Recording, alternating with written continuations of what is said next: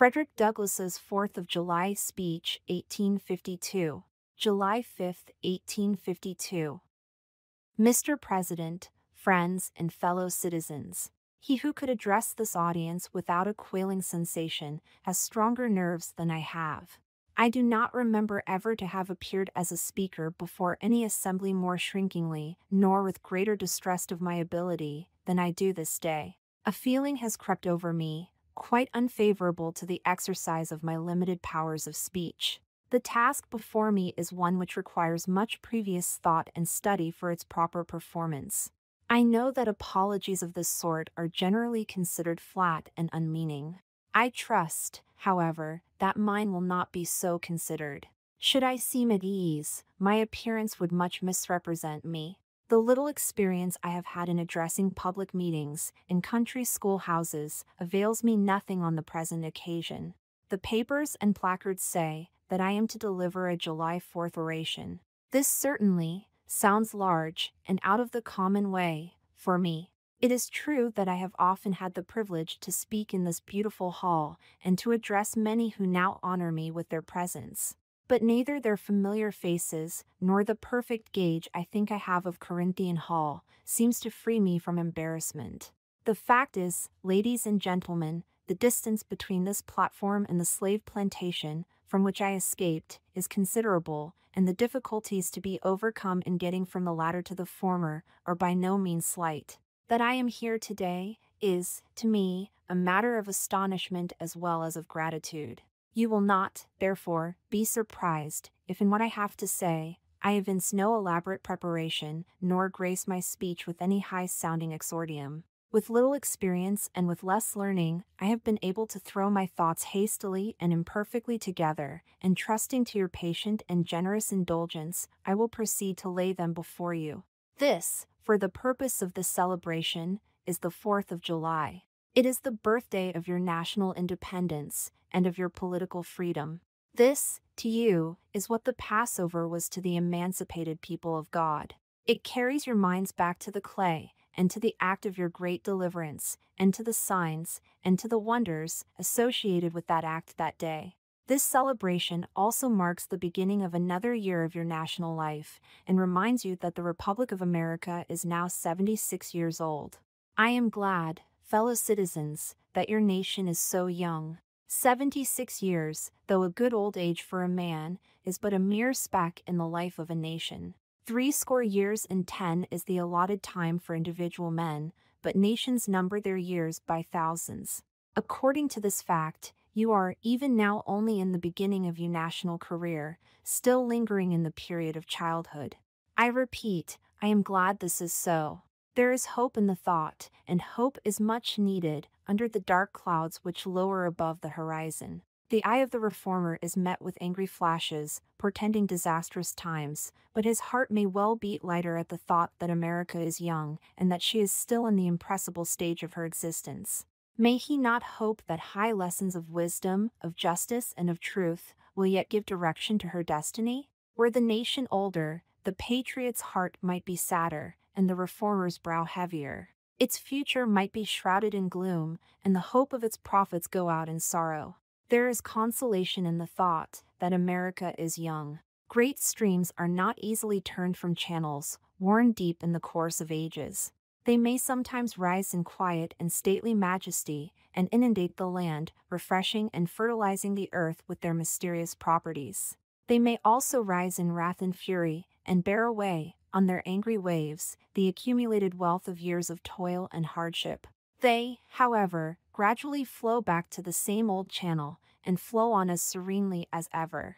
But, while the river may not be turned aside, it may dry up and leave nothing behind but the withered branch and the unsightly rock to howl in the abyss sweeping wind, the sad tale of departed glory. As with rivers, so with nations.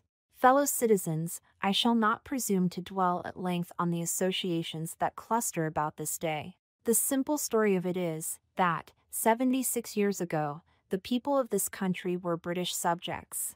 The style and title of your sovereign people, in which you now glory, was not then born. You were under the British crown. Your fathers esteemed the English government as the home government and England as the fatherland.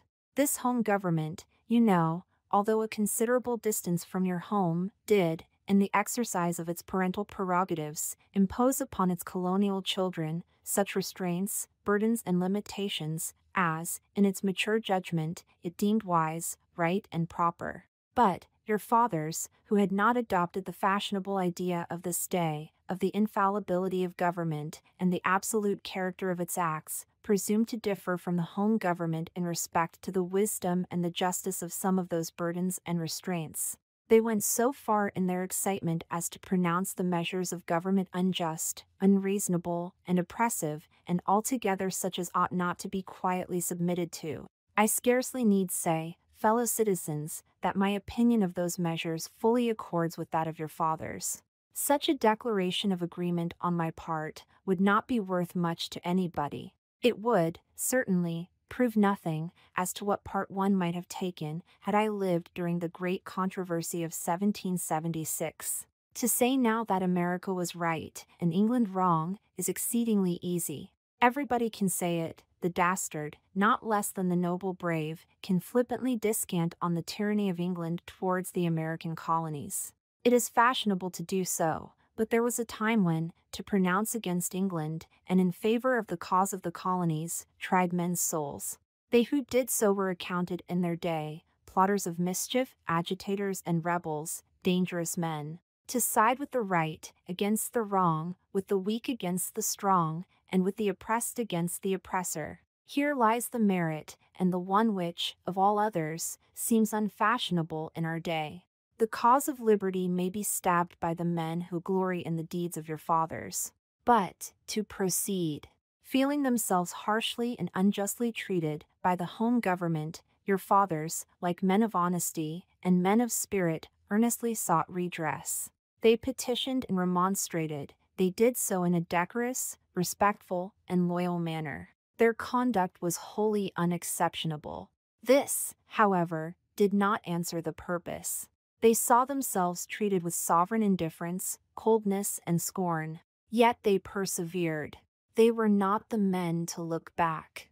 As the sheet anchor takes a firmer hold when the ship is tossed by the storm, so did the cause of your fathers grow stronger as it breasted the chilling blasts of kingly displeasure. The greatest and best of British statesmen admitted its justice, and the loftiest eloquence of the British Senate came to its support. But, with that blindness which seems to be the unvarying characteristic of tyrants, since Pharaoh and his hosts were drowned in the Red Sea, the British government persisted in the exactions complained of. The madness of this course, we believe, is admitted now, even by England, but we fear the lesson is wholly lost on our present rulers. Oppression makes a wise man mad. Your fathers were wise men, and if they did not go mad, they became restive under this treatment. They felt themselves the victims of grievous wrongs, wholly incurable in their colonial capacity. With brave men, there is always a remedy for oppression. Just here, the idea of a total separation of the colonies from the crown was born. It was a startling idea, much more so than we, at this distance of time, regard it. The timid and the prudent, as has been intimated, of that day, were, of course, shocked and alarmed by it. Such people lived then, had lived before, and will, probably, ever have a place on this planet, and their course, in respect to any great change, no matter how great the good to be attained, or the wrong to be redressed by it, may be calculated with as much precision as can be the course of the stars. They hate all changes, but silver, gold, and copper change. Of this sort of change they are always strongly in favor. These people were called Tories in the days of your fathers, and the appellation, probably, conveyed the same idea that is meant by a more modern, though a somewhat less euphonious term, which we often find in our papers, applied to some of our old politicians.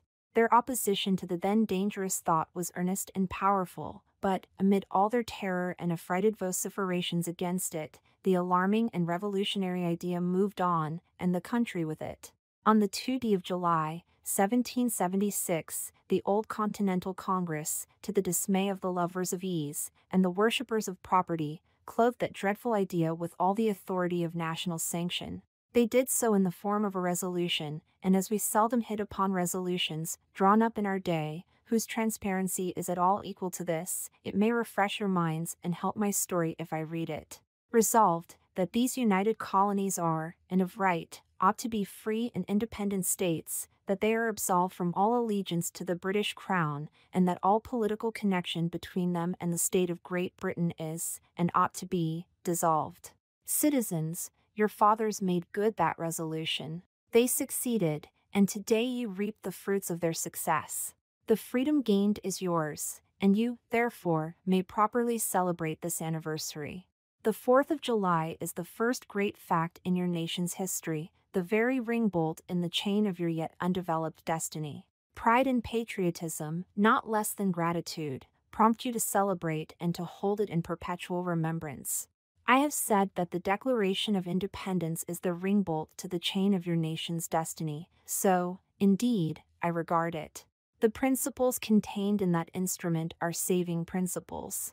Stand by those principles, be true to them on all occasions, in all places, against all foes, and at whatever cost. From the round top of your ship of state, dark and threatening clouds may be seen. Heavy billows, like mountains in the distance, disclose to the leeward huge forms of flinty rocks. That bolt drawn, that chain, broken, and all is lost. Cling to this day, cling to it, and to its principles, with the grasp of a storm tossed mariner to a spar at midnight. The coining into being of a nation, in any circumstances, is an interesting event. But, besides general considerations, there were peculiar circumstances which make the advent of this republic an event of special attractiveness.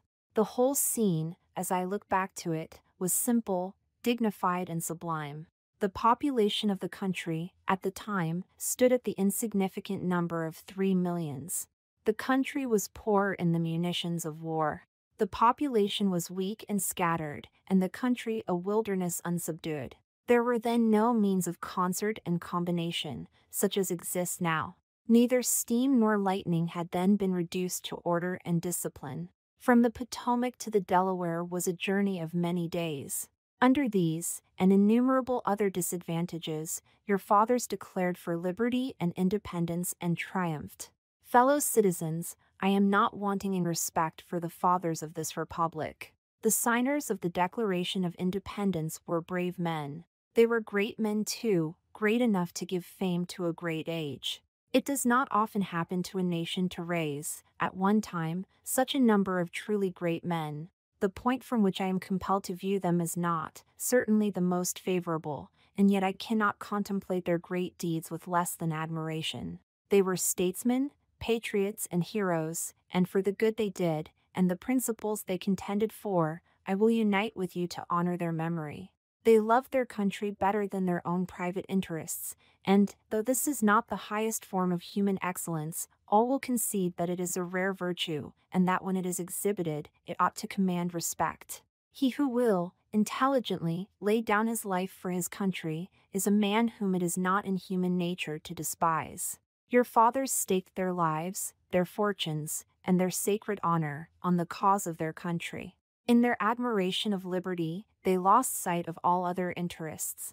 They were peace men, but they preferred revolution to peaceful submission to bondage. They were quiet men, but they did not shrink from agitating against oppression. They showed forbearance, but that they knew its limits. They believed in order, but not in the order of tyranny.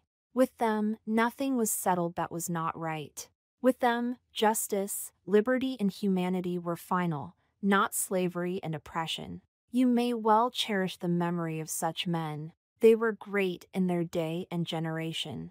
Their solid manhood stands out the more as we contrast it with these degenerate times. How circumspect, exact, and proportionate were all their movements. How unlike the politicians of an hour. Their statesmanship looked beyond the passing moment and stretched away in strength into the distant future. They seized upon eternal principles and set a glorious example in their defense. Mark them, fully appreciating the hardships to be encountered, firmly believing in the right of their cause, honorably inviting the scrutiny of an onlooking world, reverently appealing to heaven to attest their sincerity, soundly comprehending the solemn responsibility they were about to assume, wisely measuring the terrible odds against them, your fathers, the fathers of this republic, did, most deliberately, under the inspiration of a glorious patriotism and with a sublime faith in the great principles of justice and freedom, lay deep, the cornerstone of the national superstructure, which has risen and still rises in grandeur around you. Of this fundamental work, this day is the anniversary. Our eyes are met with demonstrations of joyous enthusiasm. Banners and pennants wave exultingly on the breeze. The din of business, too, is hushed. Even Mammon seems to have quitted his grasp on this day.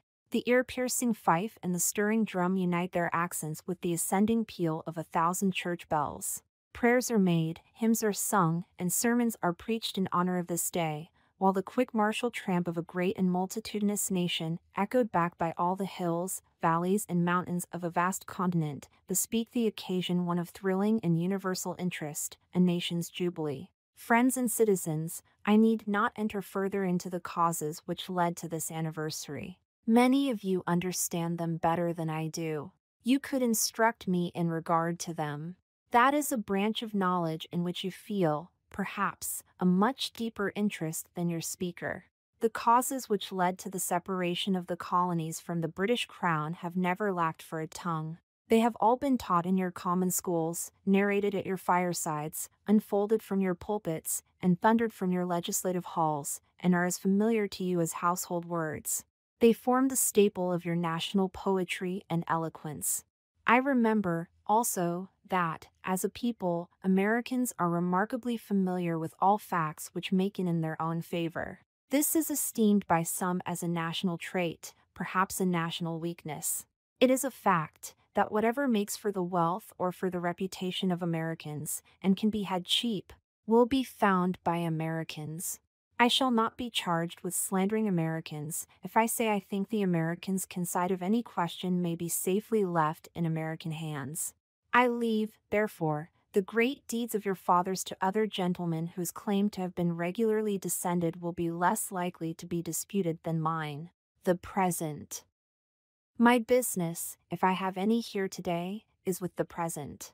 The accepted time with God and His cause is the ever living now. Trust no future, however pleasant, let the dead past bury its dead, act, act in the living present, heart within, and God overhead. We have to do with the past only as we can make it useful to the present and to the future. To all inspiring motives, to noble deeds which can be gained from the past, we are welcome. But now is the time, the important time. Your fathers have lived, died, and have done their work, and have done much of it well.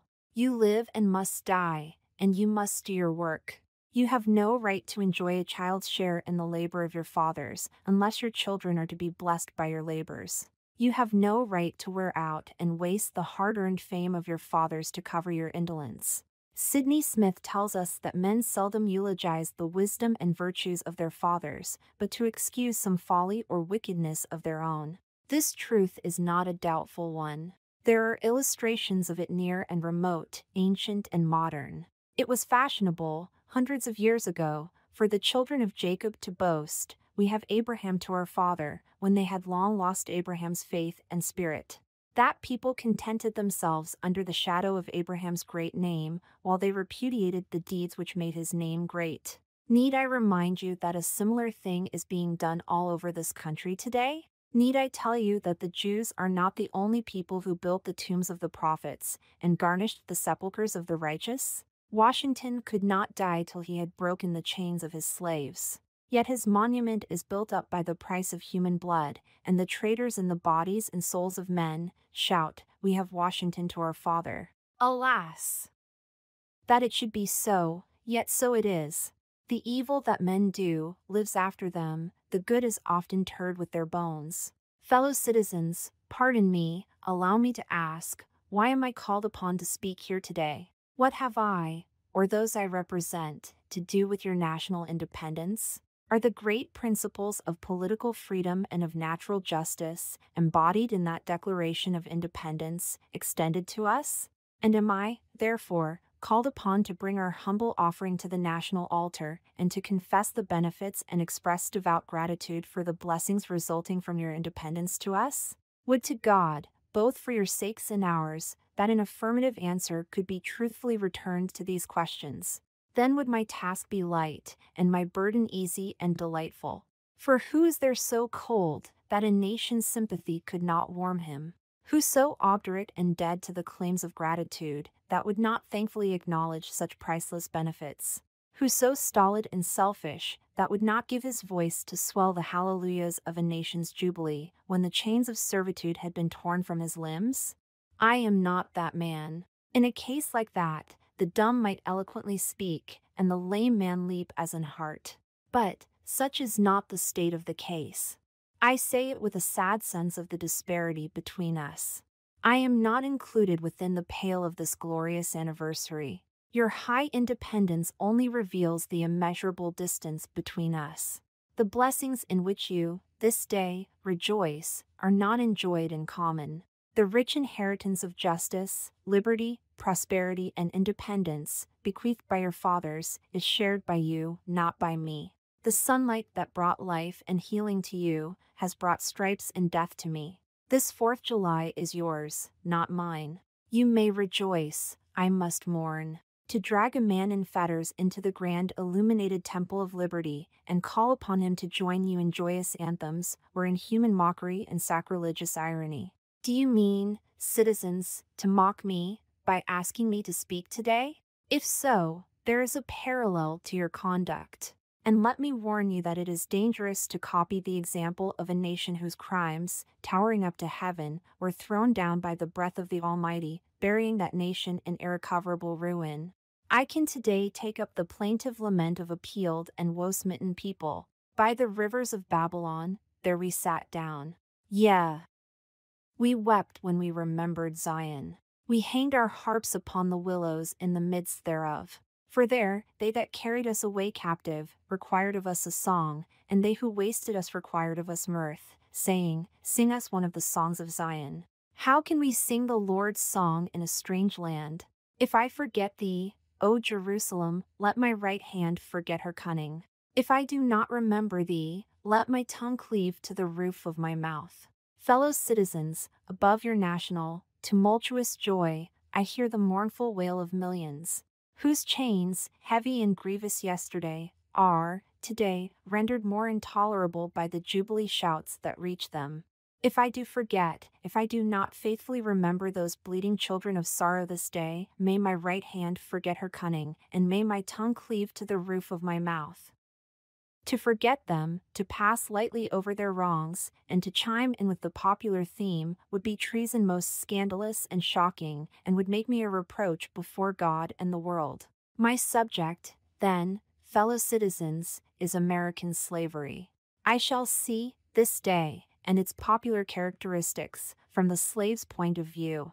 Standing there, identified with the American bondman, making his wrongs mine, I do not hesitate to declare, with all my soul, that the character and conduct of this nation never looked blacker to me than on this 4th of July. Whether we turn to the declarations of the past, or to the professions of the present, the conduct of the nation seems equally hideous and revolting. America is false to the past, false to the present, and solemnly binds herself to be false to the future. Standing with God and the crushed and bleeding slave on this occasion, I will, in the name of humanity which is outraged, in the name of liberty which is fettered, in the name of the Constitution and the Bible, which are disregarded and trampled upon, dare to call in question and to denounce, with all the emphasis I can command, everything that serves to perpetuate slavery, the great sin and shame of America. I will not equivocate, I will not excuse. I will use the severest language I can command, and yet not one word shall escape me that any man, whose judgment is not blinded by prejudice, or who is not at heart a slaveholder, shall not confess to be right and just. But I fancy I hear someone of my audience say, it is just in this circumstance that you and your brother abolitionists fail to make a favorable impression on the public mind. Would you argue more and denounce less? Would you persuade more and rebuke less? Your cause would be much more likely to succeed. But, I submit where all is plain there is nothing to be argued. What point in the anti slavery creed would you have me argue? On what branch of the subject do the people of this country need light? Must I undertake to prove that the slave is a man? That point is conceded already. Nobody doubts it. The slaveholders themselves acknowledge it in the enactment of laws for their government. They acknowledge it when they punish disobedience on the part of the slave.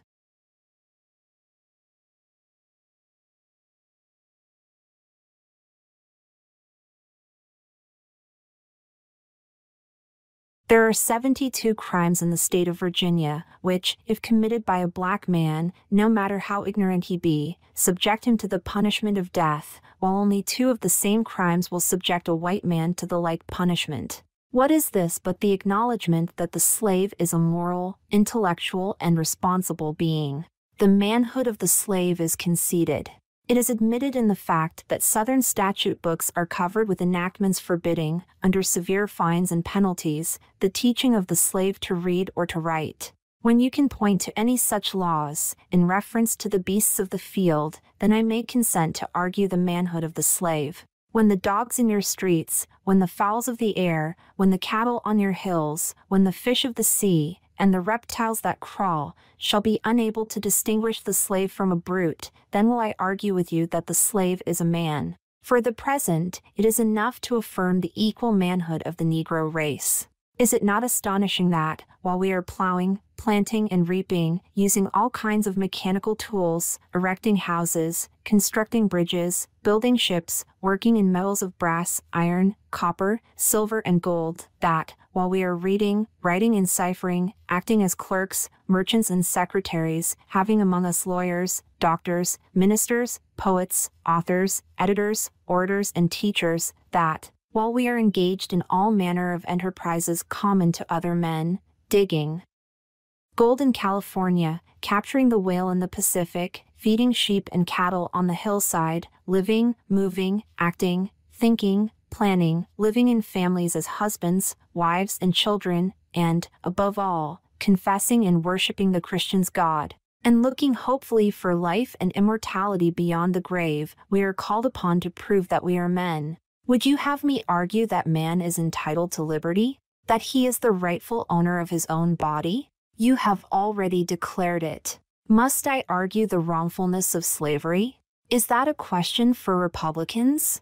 Is it to be settled by the rules of logic and argumentation as a matter beset with great difficulty, involving a doubtful application of the principle of justice, hard to be understood? How should I look today, in the presence of Americans, dividing and subdividing a discourse to show that men have a natural right to freedom, speaking of it relatively and positively, negatively and affirmatively. To do so would be to make myself ridiculous and to offer an insult to your understanding. There is not a man beneath the canopy of heaven that does not know that slavery is wrong for him. What, am I to argue that it is wrong to make men brutes, to rob them of their liberty, to work them without wages, to keep them ignorant of their relations to their fellow men, to beat them with sticks, to flay their flesh with the lash, to load their limbs with irons, to hunt them with dogs, to sell them at auction, to sunder their families, to knock out their teeth, to burn their flesh, to starve them into obedience and submission to their masters? Must I argue that a system thus marked with blood and stained with pollution is wrong? No, I will not. I have better employment for my time and strength than such arguments would imply. What, then, remains to be argued? Is it that slavery is not divine, that God did not establish it, that our doctors of divinity are mistaken? There is blasphemy in the thought. That which is inhuman cannot be divine. Who can reason on such a proposition? They that can, may, I cannot. The time for such argument is past. At a time like this, scorching irony, not convincing argument, is needed. Oh!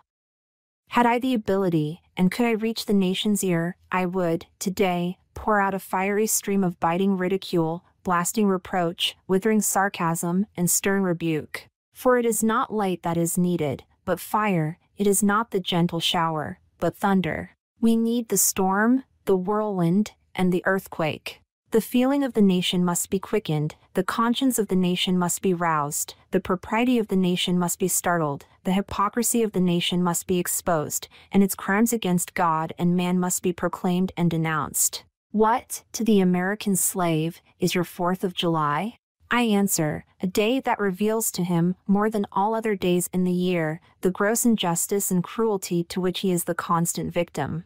To him, your celebration is a sham, your boasted liberty, an unholy license, your national greatness, swelling vanity, your sounds of rejoicing are empty and heartless, your denunciations of tyrants, brass fronted impudence, your shouts of liberty and equality, hollow mockery, your prayers and hymns, your sermons and thanksgivings, with all your religious parade and solemnity, are, to him, mere bombast, fraud, deception, impiety, and hypocrisy, a thin veil to cover up crimes which would disgrace a nation of savages. There is not a nation on the earth guilty of practices more shocking and bloody than are the people of these United States at this very hour. Go where you may, search where you will, roam through all the monarchies and despotisms of the old world, travel through South America, search out every abuse, and when you have found the last, lay your facts by the side of the everyday practices of this nation, and you will say with me, that, for revolting barbarity and shameless hypocrisy, America reigns without a rival. The internal slave trade. Take the American slave trade, which we are told by the papers is especially prosperous just now. Ex-Senator Benton tells us that the price of men was never higher than now. He mentions the fact to show that slavery is in no danger. This trade is one of the peculiarities of American institutions. It is carried on in all the large towns and cities in one half of this confederacy, and millions are pocketed every year by dealers in this horrid traffic. In several states, this trade is a chief source of wealth. It is called, in contradistinction to the foreign slave trade, the internal slave trade. It is, probably, called so, too, in order to divert from it the horror with which the foreign slave trade is contemplated.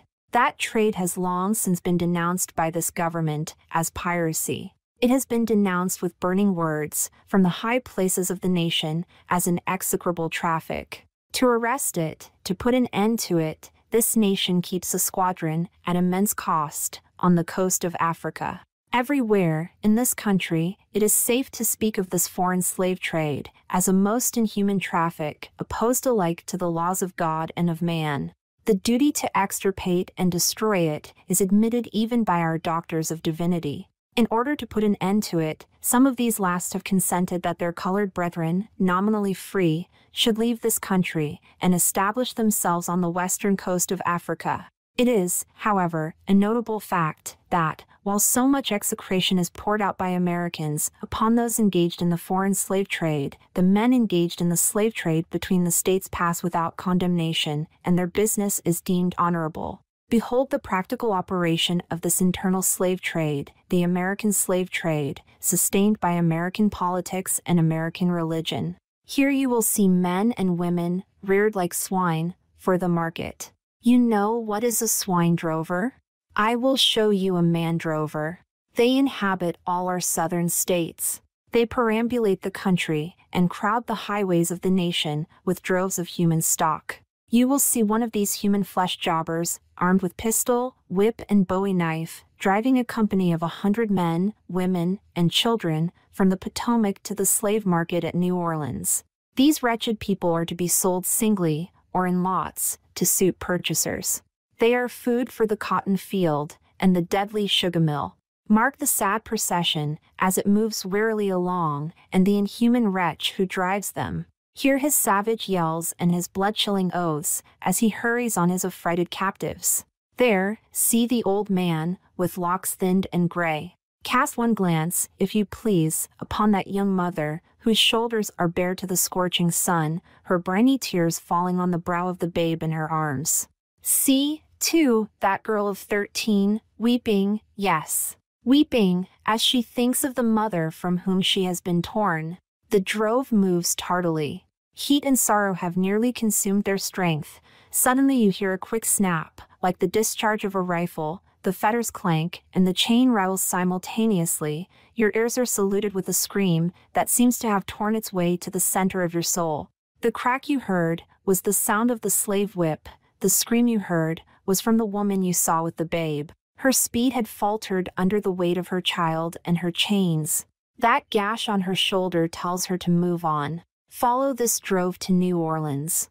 Attend the auction, see men examined like horses, see the forms of women rudely and brutally exposed to the shocking gaze of American slave buyers. See this drove sold and separated forever, and never forget the deep, sad sobs that arose from that scattered multitude. Tell me, citizens, where, under the sun, you can witness a spectacle more fiendish and shocking. Yet this is but a glance at the American slave trade, as it exists, at this moment, in the ruling part of the United States. I was born amid such sights and scenes. To me, the American slave trade is a terrible reality. When a child, my soul was often pierced with a sense of its horrors.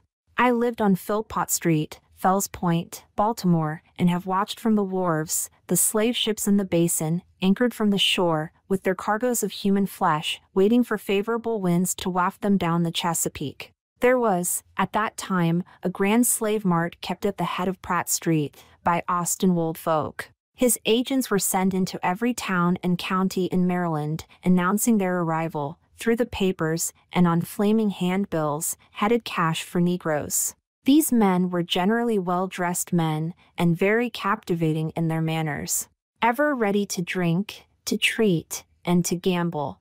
The fate of many a slave has depended upon the turn of a single card, and many a child has been snatched from the arms of its mother by bargains arranged in a state of brutal drunkenness. The fleshmongers gather up their victims by dozens and drive them, chained, to the General Depot at Baltimore. When a sufficient number have been collected here, a ship is chartered for the purpose of conveying the forlorn crew to Mobile or to New Orleans. From the slave prison to the ship, they are usually driven in the darkness of night, for since the anti slavery agitation, a certain caution is observed. In the deep still darkness of midnight, I have been often aroused by the dead heavy footsteps and the piteous cries of the chained gangs that passed our door. The anguish of my boyish heart was intense, and I was often consoled, when speaking to my mistress in the morning, to hear her say that the custom was very wicked, that she hated to hear the rattle of the chains and the heart-rending cries. I was glad to find one who sympathized with me in my horror. Fellow citizens, this murderous traffic is, today, in active operation in this boasted republic. In the solitude of my spirit, I see clouds of dust raised on the highways of the South. I see the bleeding footsteps. I hear the doleful wail of fettered humanity on the way to the slave markets where the victims are to be sold like horses, sheep, and swine, knocked off to the highest bidder. There I see the tenderest ties ruthlessly broken to gratify the lust, caprice, and rapacity of the buyers and sellers of men. My soul sickens at the sight. Is this the land your fathers loved, the freedom which they toiled to win? Is this the earth whereon they moved? Are these the graves they slumber in? But a still more inhuman, disgraceful, and scandalous state of things remains to be presented. By an act of the American Congress, not yet two years old, slavery has been nationalized in its most horrible and revolting form. By that act, Mason and Dixon's line has been obliterated, New York has become as Virginia, and the power to hold, hunt, and sell men, women, and children as slaves remains no longer a mere state institution, but is now an institution of the whole United States. The power is coextensive with the Star Spangled Banner and American Christianity. Where these go, may also go the merciless slave hunter. Where these are, man is not sacred. He is a bird for the sportsman's gun. By that most foul and fiendish of all human decrees, the liberty and person of every man are put in peril. Your broad republican domain is hunting ground for men, not for thieves and robbers, enemies of society, merely, but for men guilty of no crime. Your lawmakers have commanded all good citizens to engage in this hellish sport. Your president, your secretary of state, your lords, nobles, and ecclesiastics enforce, as a duty you owe to your free and glorious country, and to your God, that you do this accursed thing. Not fewer than 40 Americans have, within the past two years, been hunted down, and, without a moment's warning, hurried away in chains and consigned to slavery and excruciating torture. Some of these have had wives and children dependent on them for bread, but of this no account was made. The right of the hunter to his prey stands superior to the right of marriage and to all rights in this republic, the rights of God included. For black men there are neither law, justice, humanity, nor religion. The fugitive slave law makes mercy to them a crime and bribes the judge who tries them. An American judge gets $10 for every victim he consigns to slavery, and 5 when he fails to do so. The oath of any two villains is sufficient, under this hell-black enactment, to send the most pious and exemplary black man into the remorseless jaws of slavery. His own testimony is nothing. He can bring no witnesses for himself. The minister of American justice is bound by the law to hear but one side, and that side is the side of the oppressor. Let this damning fact be perpetually told. Let it be thundered around the world that, in tyrant killing, king hating, people loving, democratic, Christian America, the seats of justice are filled with judges who hold their offices under an open and palpable bribes and are bound, in deciding in the case of a man's liberty, to hear only his accusers. In glaring violation of justice, in shameless disregard of the forms of administering law, in cunning arrangement to entrap the defenseless, and in diabolical intent, this fugitive slave law stands alone in the annals of tyrannical legislation. I doubt if there be another nation on the globe having the brass and the baseness to put such a law on the statute book. If any. Man in this assembly thinks differently from me in this matter, and feels able to disprove my statements, I will gladly confront him at any suitable time and place he may select. Religious liberty. I take this law to be one of the grossest infringements of Christian liberty, and, if the churches and ministers of our country were not stupidly blind, or most wickedly indifferent, they, too, would so regard it. At the very moment that they are thanking God for the enjoyment of civil and religious liberty, and for the right to worship God according to the dictates of their own consciences, they are utterly silent in respect to a law which robs religion of its chief significance, and makes it utterly worthless to a world lying in wickedness. Did this law concern the mint, anise, and cumin, abridge the right to sing psalms, to partake of the sacrament, or to engage in any of the ceremonies of religion, it would be smitten by the thunder of a thousand pulpits. A general shout would go up from the church, demanding repeal, repeal, instant repeal, and it would go hard with that politician who presumed to solicit the votes of the people without inscribing this motto on his banner. Further, if this demand were not complied with, another Scotland would be added to the history of religious liberty, and the stern old Covenanters would be thrown into the shade. A John Knox would be seen at every church door and heard from every pulpit, and Fillmore would have no more quarter than was shown by Knox to the beautiful but treacherous Queen Mary of Scotland.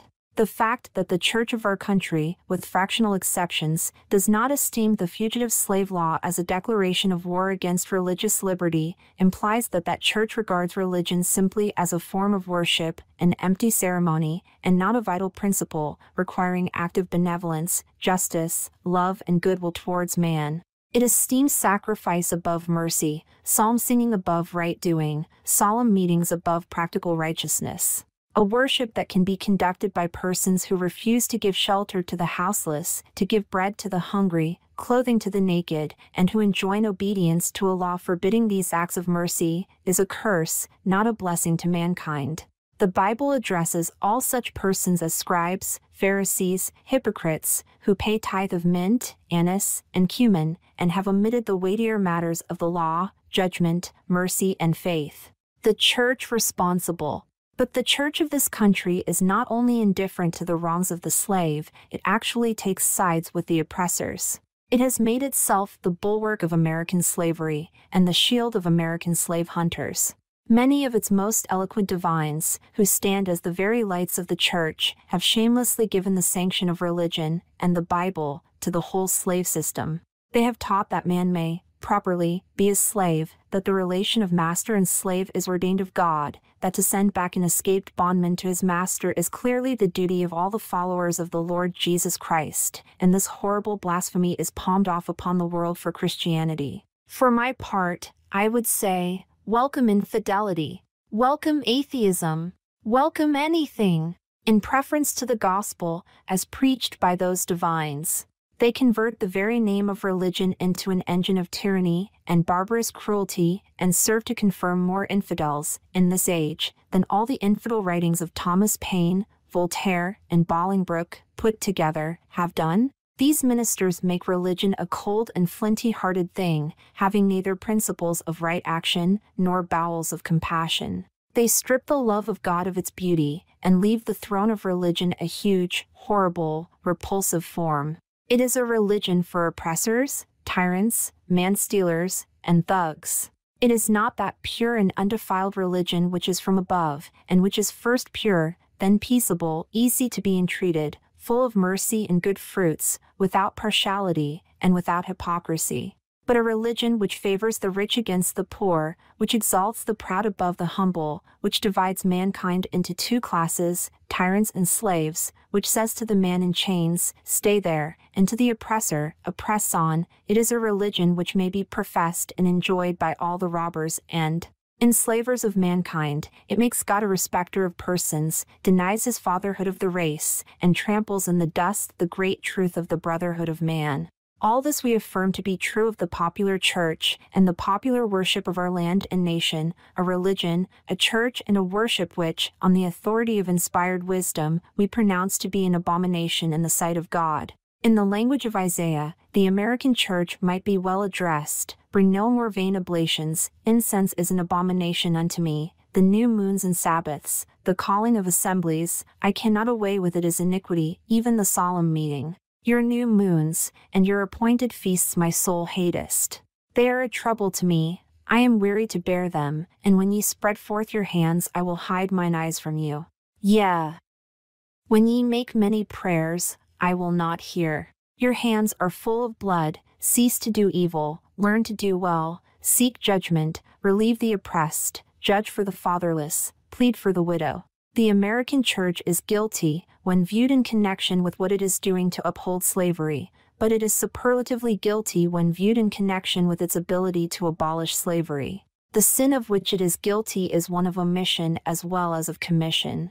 Albert Barnes but uttered what the common sense of every man at all observant of the actual state of the case will receive as truth, when he declared that there is no power out of the church that could sustain slavery an hour, if it were not sustained in it. Let the religious press, the pulpit, the Sunday school, the conference meeting, the great ecclesiastical, missionary, Bible and tract associations of the land array their immense powers against slavery and slaveholding, and the whole system of crime and blood would be scattered to the winds, and that they do not do this involves them in the most awful responsibility of which the mind can conceive. In prosecuting the anti slavery enterprise, we have been asked to spare the church, to spare the ministry. But how, we ask, could such a thing be done?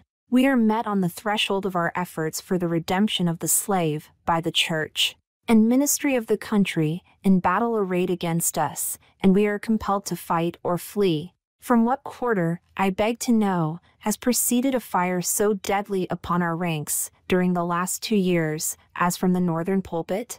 As the champions of oppressors, the chosen men of American theology have appeared, men honored for their so called piety and their real learning, the Lords of Buffalo, the Springs of New York, the Lathrops of Auburn, the Coxes and Spencers of Brooklyn, the Gannets and Sharps of Boston, the Deweys of Washington, and other great religious lights of the land, have, in utter denial of the authority of him by whom they profess to be called to the ministry, deliberately taught us, against the example of the Hebrews, and against the remonstrance of the apostles. They teach that we ought to obey man's law before the law of God. My spirit wearies of such blasphemy, and how such men can be supported as the standing types and representatives of Jesus Christ is a mystery which I leave others to penetrate. In speaking of the American Church, however, let it be distinctly understood that I mean the great mass of the religious organizations of our land. There are exceptions, and I thank God that there are. Noble men may be found, scattered all over these northern states, of whom Henry Ward Beecher, of Brooklyn, Samuel J. May, of Syracuse, and my esteemed friend on the platform, are shining examples, and let me say further, that, upon these men lies the duty to inspire our ranks with high religious faith and zeal, and to cheer us on in the great mission of the slave's redemption from his chains. Religion in England and Religion in America. One is struck with the difference between the attitude of the American church towards the anti slavery movement and that occupied by the churches in England towards a similar movement in that country. There, the church, true to its mission of ameliorating, elevating, and improving the condition of mankind, came forward promptly, bound up the wounds of the West Indian slave, and restored him to his liberty. There, the question of emancipation was a high religious question. It was demanded, in the name of humanity and according to the law of the living God. The Sharps, the Clarksons, the Wilberforces, the Buxtons, the Burchells, and the Knibbs were alike famous for their piety and for their philanthropy. The anti slavery movement there was not an anti church movement for the reason that the church took its full share in prosecuting that movement, and the anti slavery movement in this country will cease to be an anti church movement when the church of this country shall assume a favorable, instead of a hostile position towards that movement. Americans, your Republican politics, not less than your Republican religion, are flagrantly inconsistent. You boast of your love of liberty, your superior civilization, and your pure Christianity, while the whole political power of the nation, as embodied in the two great political parties, is solemnly pledged to support and perpetuate the enslavement of three millions of your countrymen. You hurl your anathemas at the crowned headed tyrants of Russia and Austria, and pride yourselves on your democratic institutions, while you yourselves consent to be the mere tools and bodyguards of the tyrants of Virginia and Carolina. You invite to your shores fugitives of oppression from abroad, honor them with banquets, greet them with ovations, cheer them, toast them, salute them, protect them, and pour out your money to them like water. But the fugitives from your own land, you advertise, hunt, arrest, shoot, and kill. You glory in your refinement and your universal education, yet you maintain a system as barbarous and dreadful as ever stained the character of a nation, a system begun in avarice, supported in pride, and perpetuated in cruelty.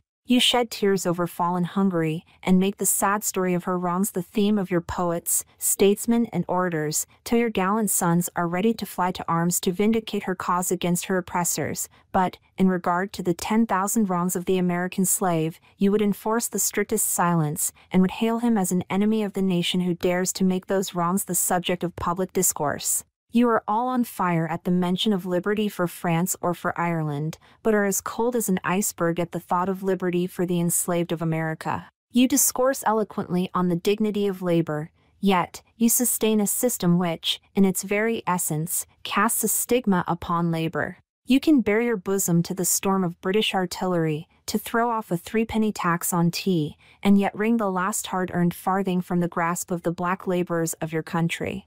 You profess to believe that, of one blood, God made all nations of men to dwell on the face of all the earth, and hath commanded all men everywhere to love one another. Yet you notoriously hate, and glory in your hatred, all men whose skins are not colored like your own. You declare, before the world, and are understood by the world to declare, that you hold these truths to be self evident, that all men are created equal, and are endowed by their Creator with certain, inalienable rights, and that, among these are, life, liberty, and the pursuit of happiness, and yet, you hold securely, in a bondage, which according to your own Thomas Jefferson, is worse than ages of that which your fathers rose in rebellion to oppose, a seventh part of the inhabitants of your country. Fellow citizens, I will not enlarge further on your national inconsistencies. The existence of slavery in this country brands your republicanism as a sham,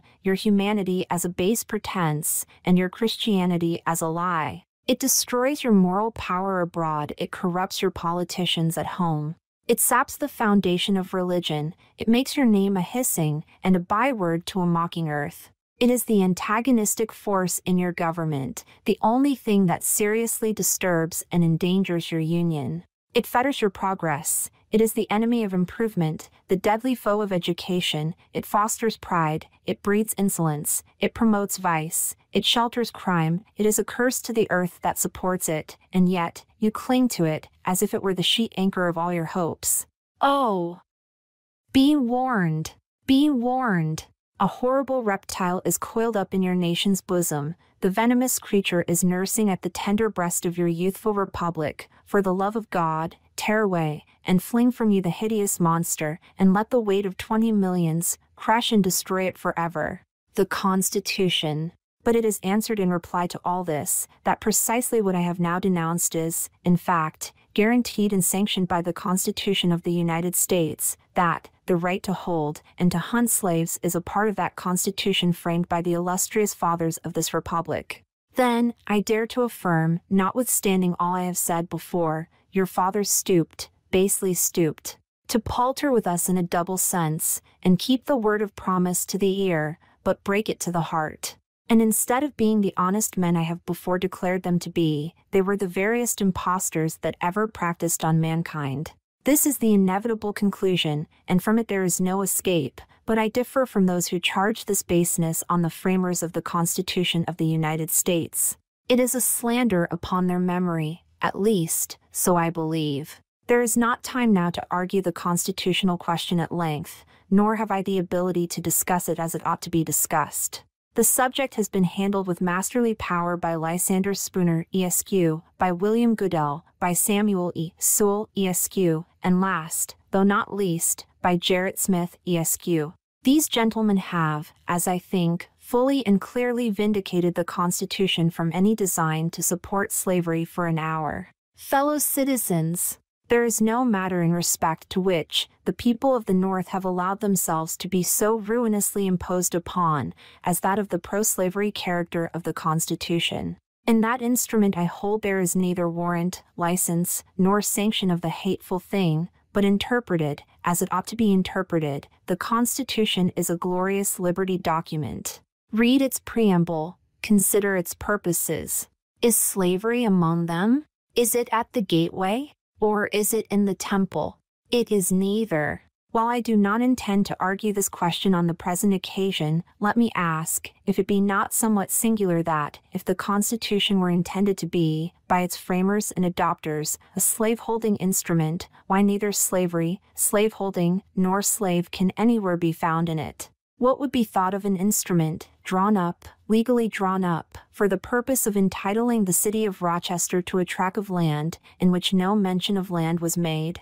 Now, there are certain rules of interpretation for the proper understanding of all legal instruments. These rules are well established. They are plain, common sense rules, such as you and I, and all of us, can understand and apply without having passed years in the study of law. I scout the idea that the question of the constitutionality or unconstitutionality of slavery is not a question for the people. I hold that every American citizen has a right to form an opinion of the Constitution and to propagate that opinion and to use all honorable means to make his opinion the prevailing one. Without this right, the liberty of an American citizen would be as insecure as that of a Frenchman. Ex-Vice President Dallas tells us that the Constitution is an object to which no American mind can be too attentive and no American heart too devoted. He further says, the Constitution, in its words, is plain and intelligible and is meant for the homebred, unsophisticated understandings of our fellow citizens. Senator Berrien tells us that the Constitution is the fundamental law, that which controls all others the Charter of Our Liberties, which every citizen has a personal interest in understanding thoroughly. The testimony of Senator Breese, Lewis Cass, and many others that might be named, who are everywhere esteemed as sound lawyers, so regard the Constitution. I take it, therefore, that it is not presumption in a private citizen to form an opinion of that instrument. Now, Take the Constitution according to its plain reading, and I defy the presentation of a single pro-slavery clause in it. On the other hand, it will be found to contain principles and purposes entirely hostile to the existence of slavery. I have detained my audience entirely too long already. At some future period, I will gladly avail myself of an opportunity to give this subject a full and fair discussion. Allow me to say, in conclusion, notwithstanding the dark picture I have this day presented of the state of the nation, I do not despair of this country. There are forces in operation which must inevitably work the downfall of slavery. The arm of the Lord is not shortened, and the doom of slavery is certain. I, therefore, leave off where I began, with hope while drawing encouragement from the Declaration of Independence, the great principles it contains, and the genius of American institutions, my spirit is also cheered by the obvious tendencies of the age. Nations do not now stand in the same relation to each other that they did ages ago. No nation can now shut itself up from the surrounding world and trot round in the same old path of its fathers without interference. The time was when such could be done, Long established customs of hurtful character could formerly fence themselves in and do their evil work with social impunity. Knowledge was then confined and enjoyed by the privileged few, and the multitude walked on in mental darkness. But a change has now come over the affairs of mankind. Walled cities and empires have become unfashionable. The arm of commerce has borne away the gates of the strong city. Intelligence is penetrating the darkest corners of the globe. It makes its pathway over and under the sea, as well as on the earth. Wind, steam, and lightning are its chartered agents. Oceans no longer divide, but link nations together. From Boston to London is now a holiday excursion. Space is comparatively annihilated. Thoughts expressed on one side of the Atlantic are distinctly heard on the other. The far off and almost fabulous Pacific rolls in grandeur at our feet. The celestial empire, the mystery of ages, is being solved. The fiat of the Almighty, let there be light, has not yet spent its force. No abuse, no outrage, whether in taste, sport, or avarice, can now hide itself from the all pervading light. The iron shoe and crippled foot of China must be seen, in contrast with nature. Africa must rise and put on her yet unwoven garment. Ethiopia shall stretch out her hand unto God. In the fervent aspirations of William Lloyd Garrison, I say, and let every heart join in saying it. God speed the year of Jubilee the wide world o'er. When from their galling chains set free, th oppressed shall vilely bend the knee, and wear the yoke of tyranny like brutes no more. That year will come, and freedom's reign, to man his plundered rights again restore. God speed the day when human blood shall cease to flow, in every clime be understood the claims of human brotherhood, and each return for evil, good, not blow for blow. That day will come all feuds to end, and change into a faithful friend each foe. God speed the hour, the glorious hour, when none on earth shall exercise a lordly power, nor in a tyrant's presence cower, but all to manhood's stature tower, by equal birth. That hour will come, to each, to all, and from his prison house, the thrall go forth. Until that year, day, hour arrive, with head and heart and hand I'll strive to break the rod and rend the gyve, the spoiler of his prey deprives, so witness heaven. And never from my chosen post, whatever the peril or the cost, be driven.